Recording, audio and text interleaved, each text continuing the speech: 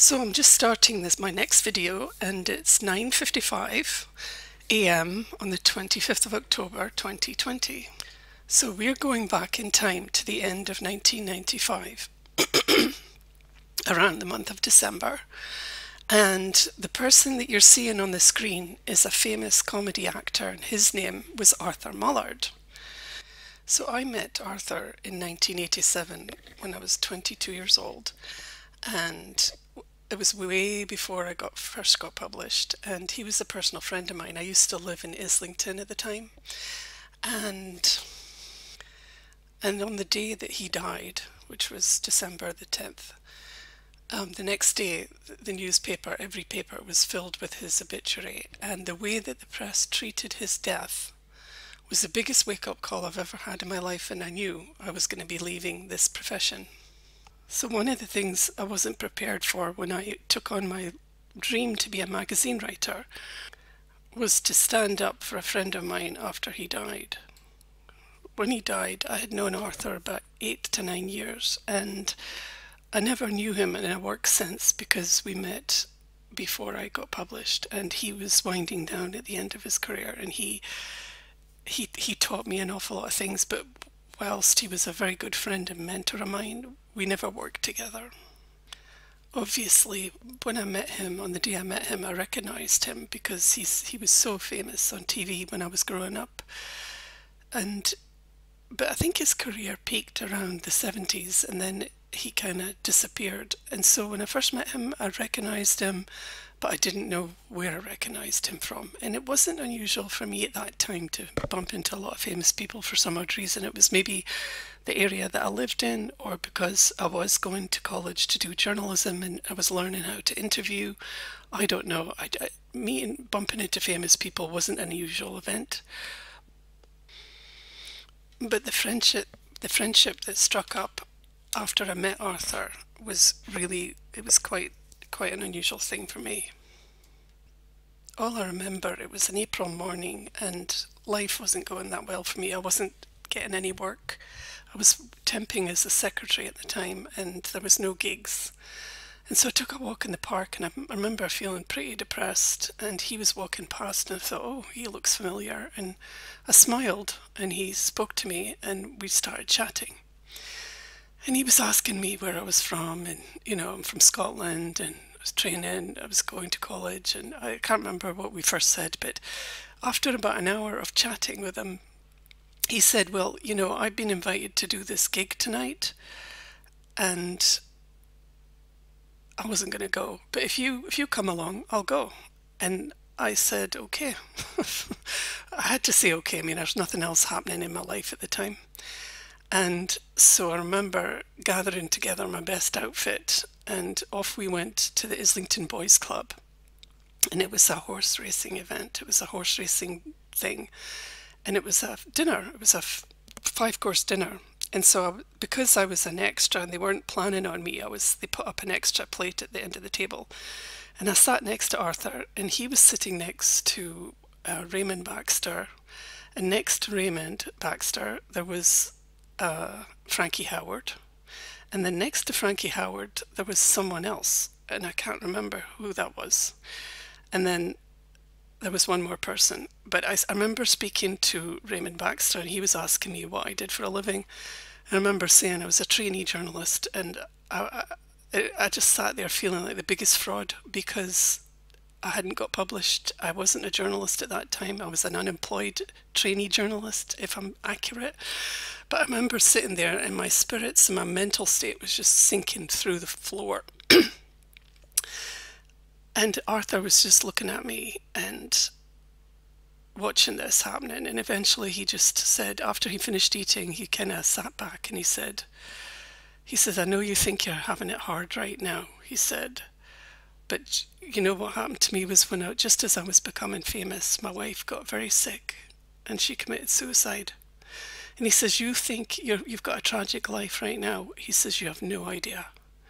He said, Everything's going to happen in your life and everything's going to be okay. And, and after that, we went home and we I got home to Islington and we started drinking and talking about things.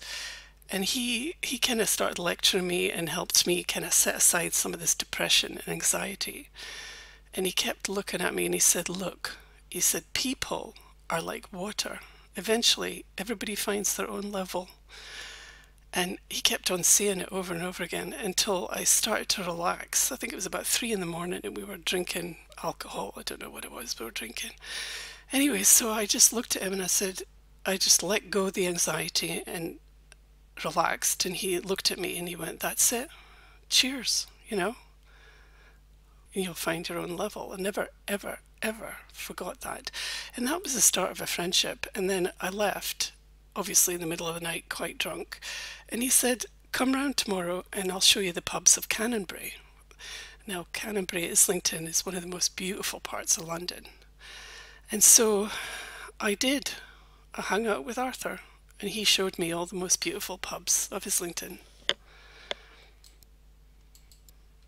So, what stood out to me the most was that he didn't have a lot of schooling. He was almost illiterate.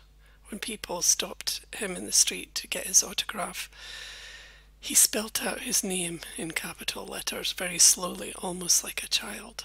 But yet, he was a columnist in the local Islington newspapers and magazines, and he actually wrote his own autobiography. So that's a pretty massive achievement for someone who left school at the age of 11.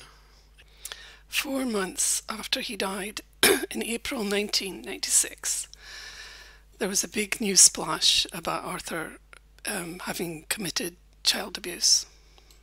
I knew it wasn't true, and I knew exactly what it was the minute I saw it, but it was such a huge deal. So I went straight into professionalism mode and I photocopied some of the articles and I faxed them to his son, Johnny, who is a successful, at the time, he was a successful comedian in Australia. And I said, Johnny, I'm sorry about this, but you need to see this. You need to know about this. And I said, Would you be willing to do an interview? And he said, Yes. So I just, I was just high, you know, on adrenaline and, you know, stress. And I went into journalism mode and I interviewed Johnny and did a full uh, interview with him. And you know, my boss was helping me. I was at the agency, and I, and you know, everything I did for the agency, you know, they they were there to help me. And I said, you know, let's let's get this published. Let's do a, uh, the other side of the story. Let's tell the truth.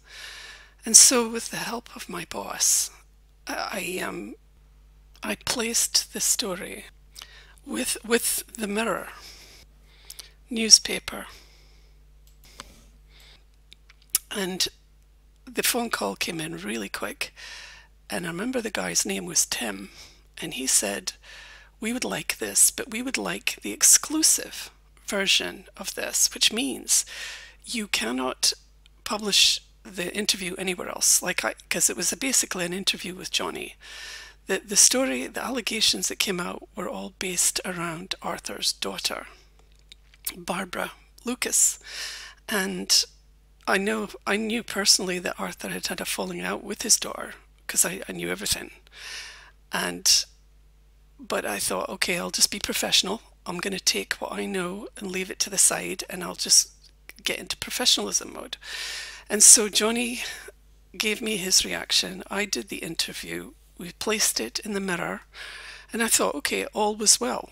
We're gonna we're gonna take off this image. We're gonna balance out this image of what looked like a smear job post death. I mean, but I really thought I thought, okay, well, I've done this interview with his son, and the truth will be balanced and the public will know and uh, people will be able to make up their own minds well that's not what happened the actual story that I did the interview that I did never saw the light of day and my boss said yeah sometimes that happens they will purchase information to bury it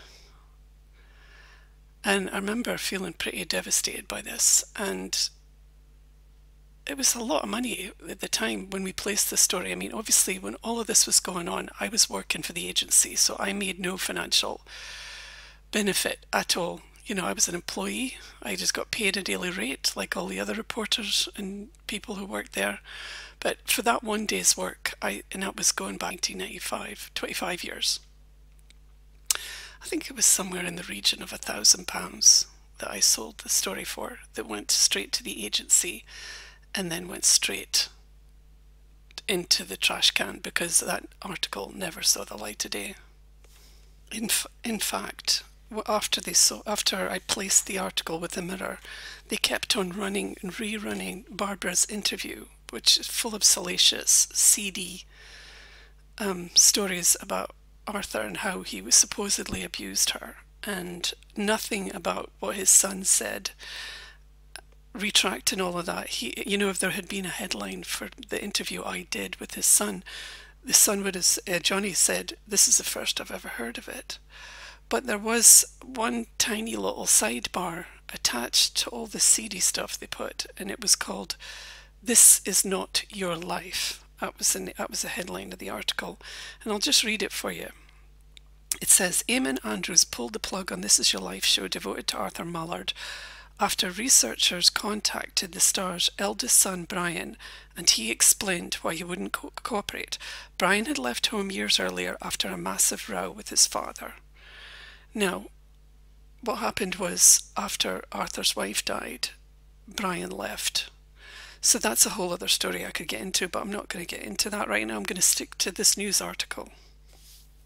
So to continue with this sidebar that the Mirror had written, I put I quote, but Mullard's other son, Johnny, now a successful comedian in Sydney, Australia, says he was shocked when his sister Barbara told him after their father's death how he had been abused by the man he had doted on all his life. End quote.